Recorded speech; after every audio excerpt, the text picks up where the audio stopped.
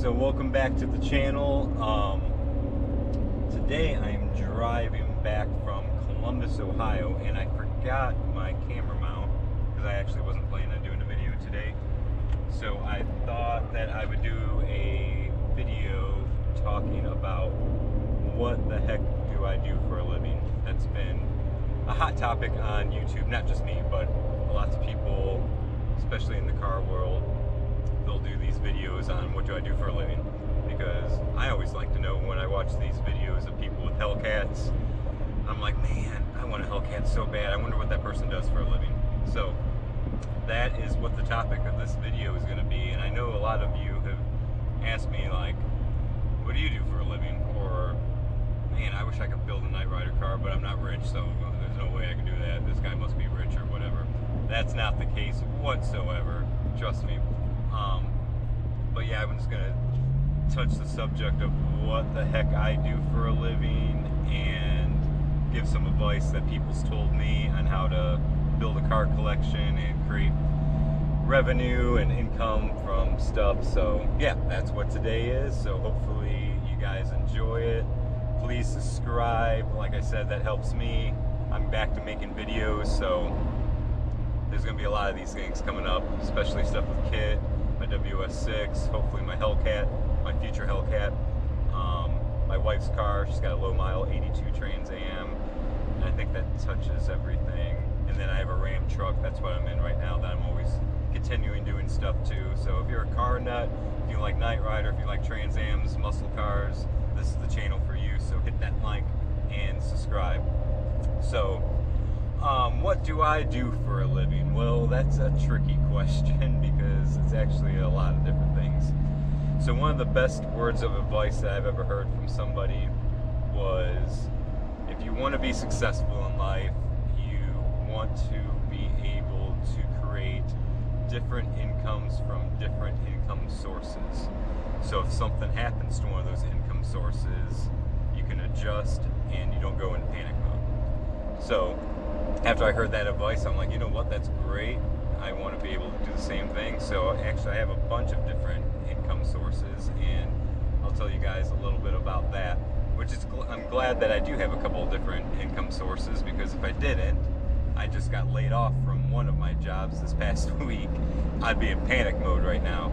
So um, I'm not in panic mode because I have four other income sources, and they're all legal, by the way. You think that I'm yeah, everything that I do is legal, so you don't have to worry about that.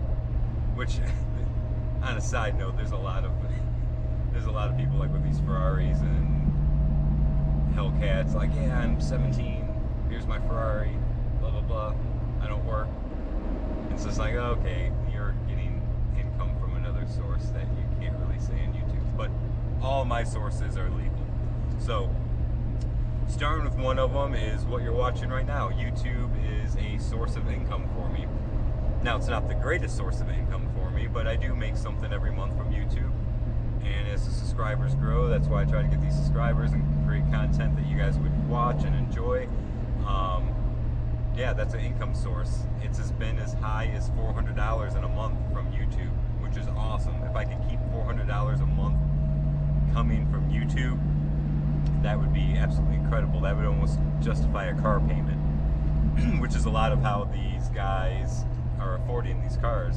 I mean, a lot of these 17-year-old kids that's got a million subscribers, they're probably racking in twenty, thirty thousand dollars a month just from YouTube. So I make, I mean, probably average two hundred dollars a month on YouTube. It's been as high as four hundred. It's been as low as about a hundred. Um, even when I wasn't creating content for two months, I got a check for think like 80 bucks in one month and like 75 on another month. So it's something that just keeps on giving if you put the time into it, and I enjoy making these videos. So that is one source of income that I have, which I continue to grow. So like and subscribe. So another source of income that I have is I work for a company, and this is my main source of income. I work for a company called Soundcom. So we're basically a technology integrator we have eight offices. I work at the headquarters in Cleveland, Ohio. Um, so basically, what a technology integrator is is sort of what it sounds like. Anything that has to do with technology, we install and we train. So I'm actually the trainer for SoundCom. So all of our technicians they install stuff from touch panels in hospitals to scoreboards in stadiums to video conferencing systems in uh, office building, So I go in and train end users on how to use the stuff that we installed, which is what I was doing today. Had to drive two hours to do a training, and now I'm driving two hours back. That's why I dress the way that I'm dressed right now. And then I'm also a house of worship uh, advisor, salesperson for the company. So it's actually a great, a great thing because I get my base income, which I'm completely satisfied. Which is just, I mean, it's nothing like crazy, crazy, but it's not low either. It's just a medium. I would think it's just an average income that an American would make. So I make that, and then anytime I sell a church sound system, which has been a decent amount lately, I get a commission. So I'm not reliant on commission. If I don't sell anything, I get my base income that I'm happy with. If I do sell something, it's a bonus for me, which is a great added bonus. Which leads me into the third one, which I just recently lost this job for the last four years. I ran sound for a church, so that's sort of my background. I'm a musician, and I'm I'm pretty good sound guy. I mean, not not trying to sound cocky, but I, I do know how to run sound, and I I do it well, which was justified on how I got paid to run sound for a church here in Cleveland, Ohio. Did that for the last four years, and just recently got let go. Nothing that I did, but they're cutting corners, and the best way to cut corners is fire their sound guy. So that's what they did to me, which sucks and is a blessing at the same time.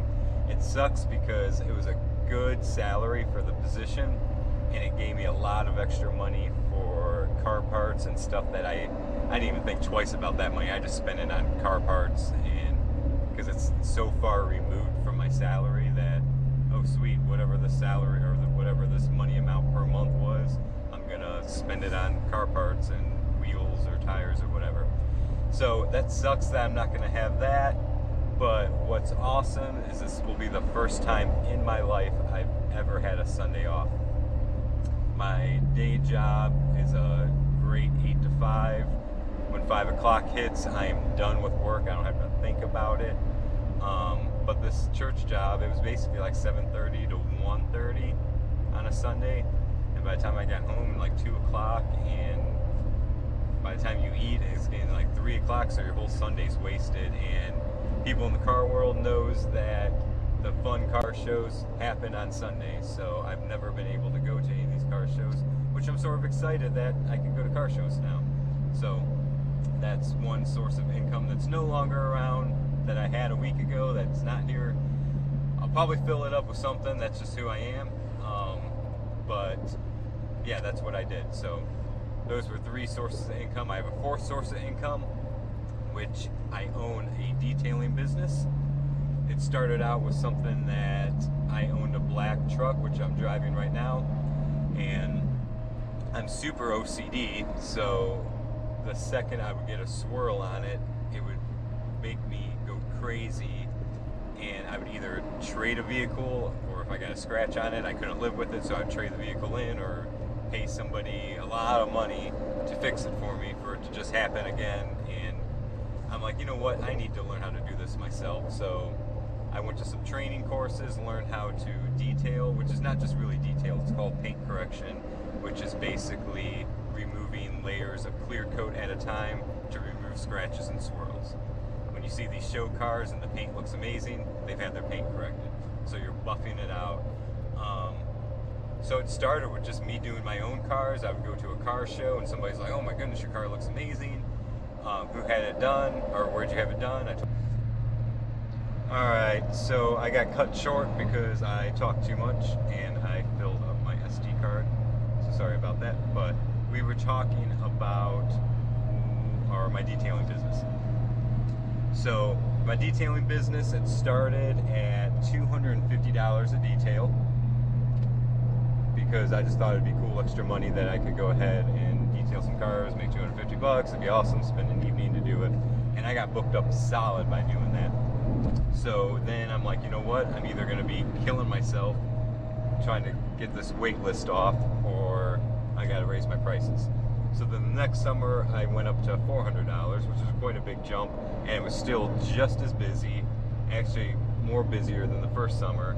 And I'm like, you know what? I need to either hire people or raise my prices again. So talking to a lot of people in the detail industry, if you're really good, which I'm not good at a, I mean I'm good at some stuff, but I excel at detailing, and that's not me being prideful or anything. That I can honestly say I'm probably in the top 5% when it comes to being able to do uh, paint correction.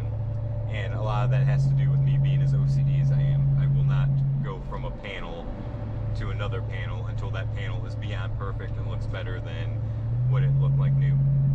So, talking to other people that's like-minded like me, it seems like they're starting their prices at 500 and I'm like, oh my goodness, are you kidding me? Like $500? I don't know people Ohio will actually spend $500 to get their car detailed.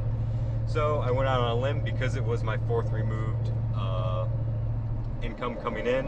And if I did lose it, it's not the worst of the worst because I still have my regular income.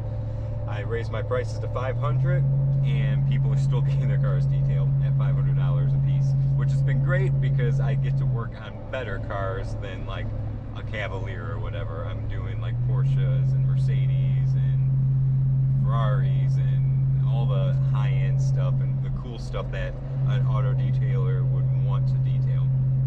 So my clientele's changed and it's changed for the better. It's changed for people that can afford to get their cars detailed. So as you can see, that could be super profitable and it is my fourth income. So if I do four cars a month, that's at least $2,000. And if it's a truck, which I've done a couple of trucks, I mean, sometimes I charge seven to $800 to do a truck. Um, so at least $2,000 a month, it can be somewhere between $3,000 $3,500 a month on my fourth removed income coming in. And that's not me trying to brag or anything. That's just stating the facts. That's just what what it is. I mean, you guys asked, so. um, but that's something that's good to have as a, a fallback. It it does take a lot of training to get good at it, and there is an expense in the quality, which my camera bag is making a noise. Sorry about that. Um, there is an expense in the quality or in the stuff it takes to detail your buffers. So everything's redundant. So I'm not going to go buy a Home Depot buffer to detail these Ferraris with. Of course, I have to have the best of the best buffer to be able to do stuff like that. And then you have to have redundant stuff. So if that buffer breaks in the middle of doing a detail, have to have a backup. So I pretty much have two of everything when it comes to detailing stuff. So the startup, I probably was in $5,000 startup to start that business, but as you can see, you can make your money back in about a month if you work hard. Um, yeah, so I do that, and the cool thing about all of these different sources of income, which I sort of talked about before with losing the church job, I really didn't feel the pain of it because I had other things to um, fall back on. And cool thing about this is I hopefully I never lose my day job. I plan on being at my day, day job for the rest of my life if they allow me to because that's what pays the bills, that's what pays the house payment, all this other stuff. But if something did happen to that day job, I could probably go into doing auto detailing full time and make way more money at that than probably all these incomes together. But I don't want to be doing auto detailing when I'm 60 years old. I like my office job. So, worst comes to worst, I have a backup of a backup of a backup plan. And I think that's just being wise to have different things, which I never had before. So all this, all this new way of thinking is something that's happened in the last four. 12 years previous to that, I worked at an organization, which I'm not going to tell because they're probably going to be watching this or people knows where I work, so I'm not going to say names.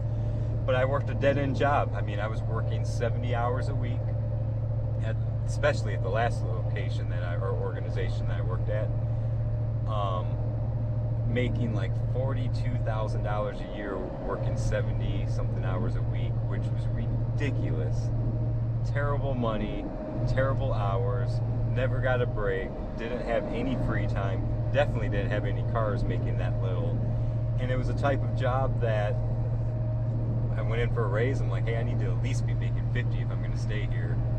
And well, to go back in time, I don't have a college degree. I went to college for music, which I'm glad I didn't finish because that would have got me nowhere. But um, that job just kept on hanging that education over my head. It was so annoying.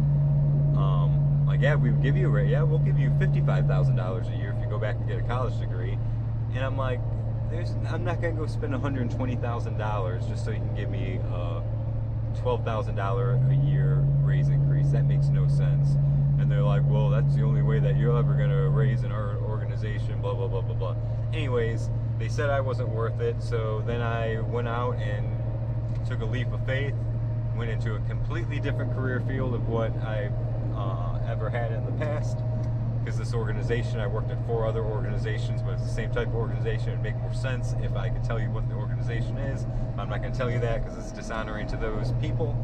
But um, they said I wasn't worth the 50,000, so I changed jobs and was able to find a job that paid me that.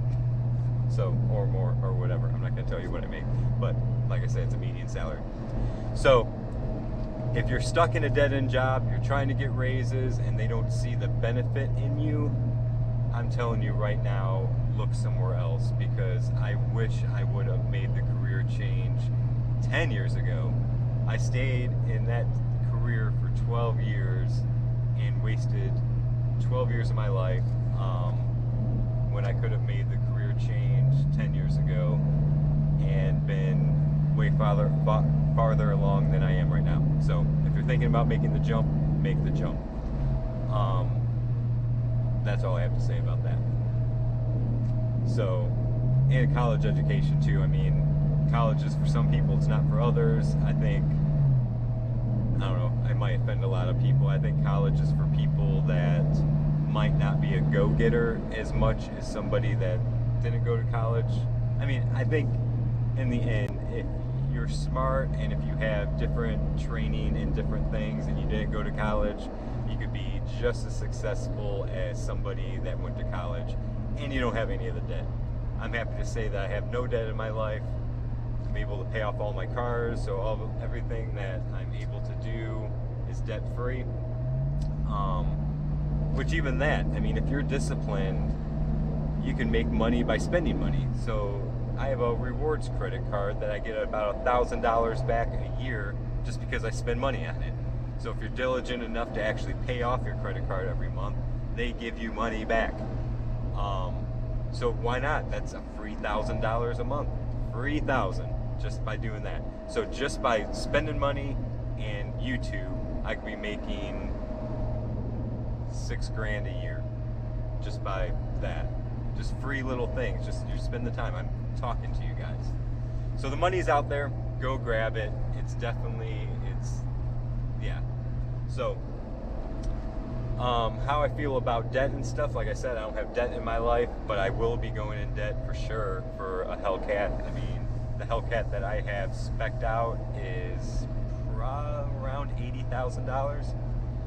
Is it worth $80,000? To me, it's worth $80,000. Um, but it is a $30,000 car with a huge motor on it. So you can look at it that way. Are you getting more quality with like a BMW, which I can go out and buy a BMW if I want? I was looking at M3s and M4s, but there's just something about the Hellcat that I don't know. It's just you're getting where else can you get now 800 horsepower for $80,000? You're not doing that until you get into supercars. With supercars, I mean you're going to start at like $150,000 to get into a supercar, and they're still not as fast as a Hellcat. So if you're after speed, that's the way to go.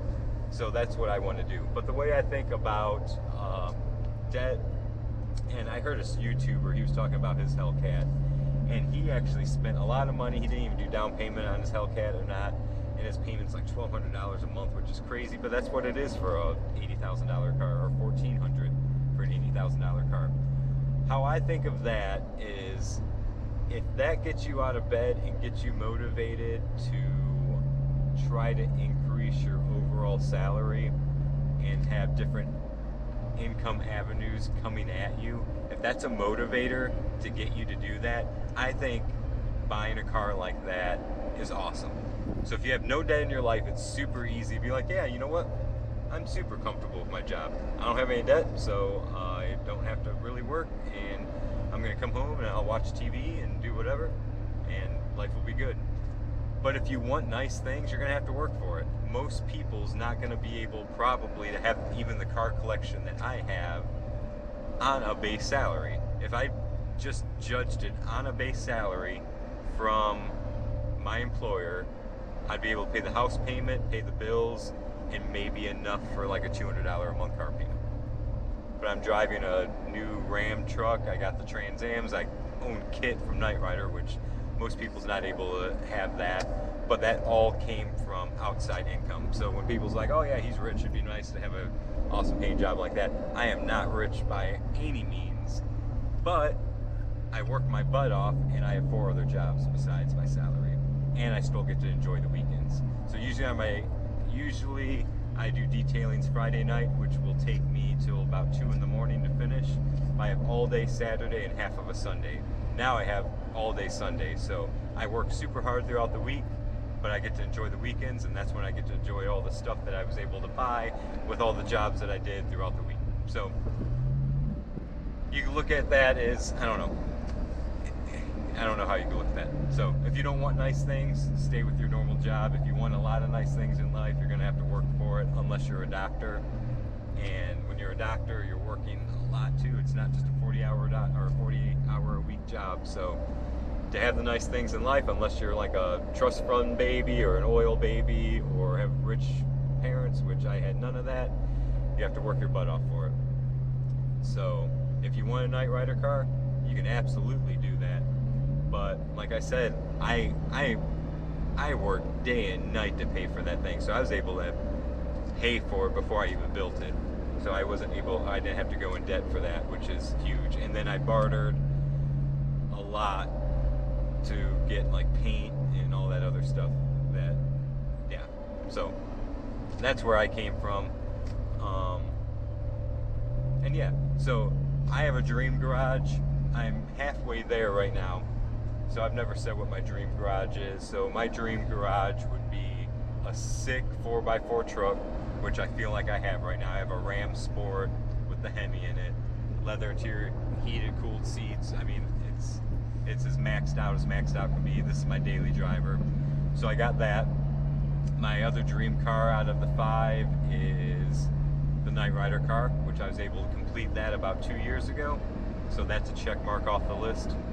My third car in the dream garage would be a 2002 WS6 that's all built up. As you can see, I have that. That's just my pretty much my dream car period because that was just the car that I thought that was badass growing up and I always wanted it and I have it now and it's built and it's mint and it's just it's a really cool car. So I have that. So I'm I'm 3 out of the 5 in my dream garage. So my fourth one, hopefully I'll be adding very, very soon if I can find the right deal on it, is a wide body black Hellcat. I just think those are badass as well. Um, you get a fast car for a halfway decent amount of money. And then my fifth car in the dream car garage, and then I'll be complete and I won't need anything else, would be some sort of exotic car, be it a Ferrari or a Lamborghini or yeah, probably stick to those two. Some sort of exotic, like head turner, like wow, what the heck is that? So, yeah, that's that's my dream car garage, and hopefully I'll be able to have all those dream cars within the next 10 years. That's the goal in life. Um, probably won't be able to afford a brand new Ferrari, but maybe a two-year-old Ferrari, hopefully one day, if I work hard enough and get it. And then I can build a pole barn and have all of them laid out, all black, all mint condition, oh, that would be great. Pull into the garage and be like, which car do I want? Do I want the Ferrari or do I want to take Kitt out for a spin? You know what? Maybe I'll just take the wife's 82 train. I don't know. So just they gotta all be black and they all gotta be awesome. And then I want to get the wife a Grand Cherokee SRT when her lease is up. So that's it. Um, probably not the wisest idea, but if if that motivates you, I think it's okay to get a little debt. Now, if you don't have any other debt, I think it's totally cool to take on a ridiculous amount of debt for a car. Now, Dave Ramsey would tell you completely opposite. Dave Ramsey's sort of the extremist. I think he's designed for people that don't know how to manage money, that as a spending, they they just like to spend way too much.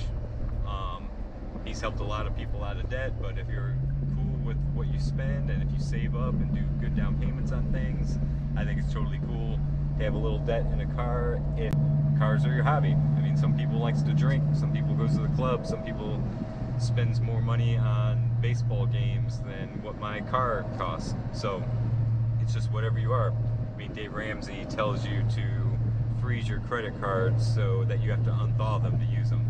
Now, like I said, I'm able to pay my credit card off every month, so I don't think that would apply to me.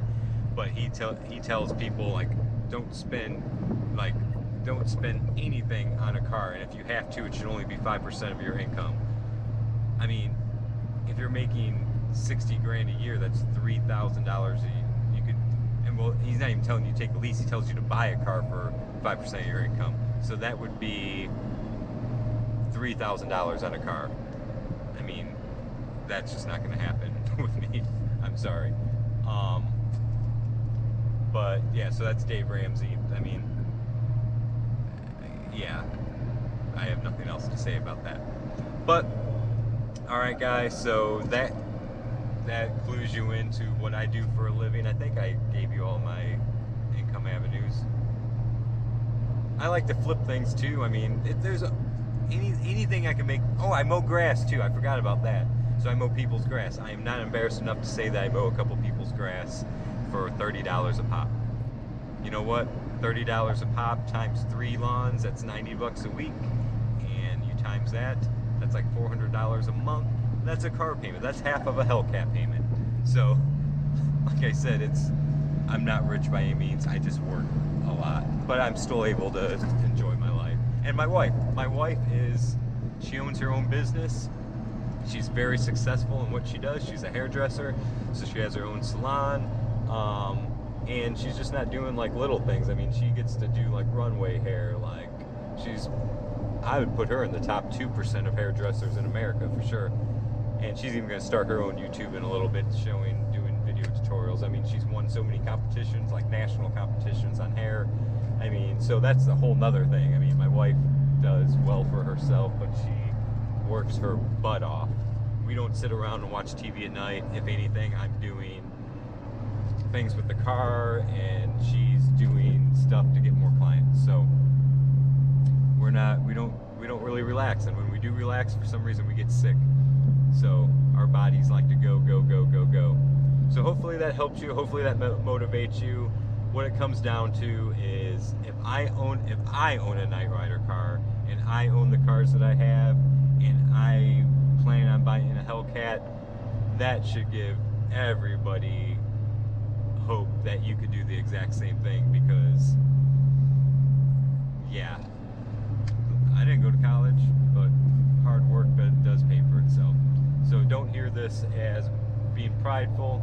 Here, hopefully you hear this as a motivator on if literally I can do it, anybody in the world could do the exact same thing and be able to have the car collection that they want. Or the, any of the other collections. Um, but you, you got to be thinking. You just got to be thinking. I know this video is way too long, but you just got to be thinking on how you want to get that money. And it's there. It's there for the grabbing. All right, guys stay tuned to the next video. I think the next video I'm going to do five things I hate about my Knight Rider car because there are things I hate about it. So thanks a lot for tuning in. Have a good one. Later.